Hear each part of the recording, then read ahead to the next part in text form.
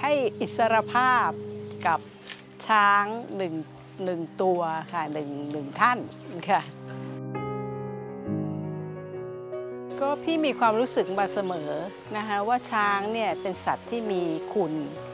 กับประเทศไทยนะคะตั้งแต่สมัยโบราณแล้ว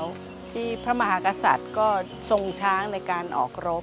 ตุ๋ยก็รู้สึกสลดใจว่า โอ้เมื่อก่อนนี้นะเขาอยู่ ทำให้เรามีที่อยู่อาศัย มีที่ทำมาหากิน คือเขาเสียสละเพื่อเราเพื่อเรามีที่อยู่ในทุกวันนี้นะคะ แต่ว่าเดี๋ยวนี้เขาต้องมาเล่นฮูลาฮุกหรือว่าต้องมาทำอะไรตลกตลกให้คนขำกันนะคะเขารู้สึกสลดใจพอพี่แหม่มมาชวนว่าเราไปทำบุญกันไหมก็เลยมาหาที่กันค่ะว่าที่ไหนช้าง ปล่อยแล้วเขาจะมีความสุข ถ้าเกิดเราปล่อยเขาเข้าป่าไป แล้วเขาจะทานอะไร บางทีก็ยากเหมือนกันในการปรับตัว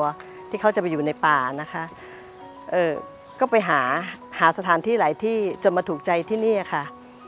ก็สงสารนะคะ เพราะว่าเห็นเขาถูกล่ามโซ่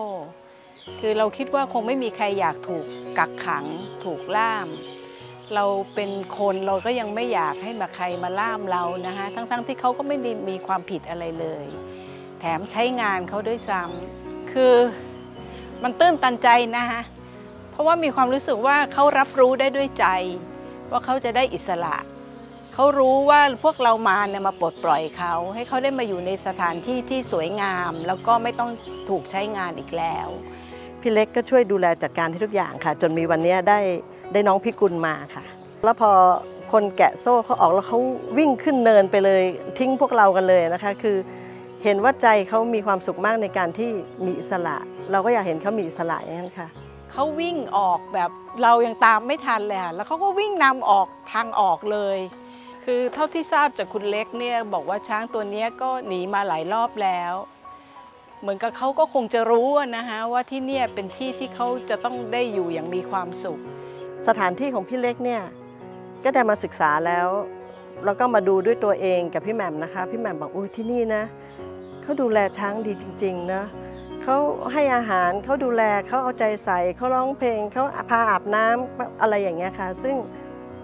บางที่หลาย ๆ ที่ตุ๋ยก็ยังไม่ไม่เห็นขนาดนี้ คือเขาอาจจะมีวิธีดูแลแตกต่างกัน แต่ว่าความประทับใจของของตุ๋ยกับพี่แหม่มเนี่ยประทับใจสถานที่ของพี่เล็กมากที่สุดค่ะ อย่าไปได้ใช้งานเขาเลยสงสารเขาแล้วการใช้งานบางทีมันก็ผ่านการทรมานนะคะ ไม่ใช่ว่าอยู่ ๆ คือเขาเป็นสัตว์ธรรมชาติ เขาก็ต้องอยู่อย่างธรรมชาติ เขาแค่พูดไม่ได้ แต่เขามีความรู้สึกเหมือนเรา ถ้าเราไม่อยากถูกใครทรมาน เราไม่อยากถูกใครกักขัง เราก็ต้องนึกถึงเอาใจเขามาใส่ใจเราอะค่ะ คือทุกดวงจิตก็คงอยากมีอิสระ ไม่ว่าจะเป็นสัตว์เล็กสัตว์น้อยหรือสัตว์ใหญ่นะคะ ก็ขอให้รักและก็เมตตาสัตว์ไม่ว่าจะเป็นสัตว์น้อยสัตว์ใหญ่ ก็ขอให้ทุกคนอเอาใจเขามาใส่ใจเรานะคะ ทุกคนเท่ากันนะคะ เพราะว่าเกิดแก่เจ็บตายเท่ากันค่ะ